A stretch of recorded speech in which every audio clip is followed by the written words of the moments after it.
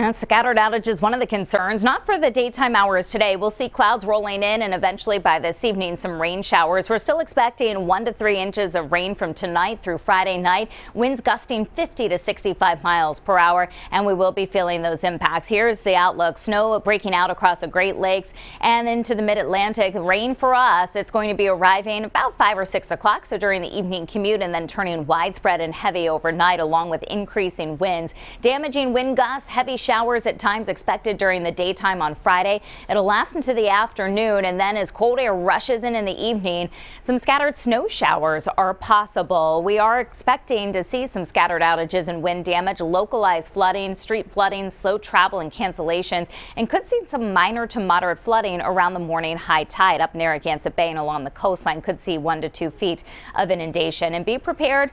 Charge up devices, make sure holiday decorations are secure for these outages. 50 to 65 mile per hour winds expected from late tonight into Saturday morning. Temperatures in the 50s tomorrow, but crashing to around 15 by tomorrow night. Have a great day.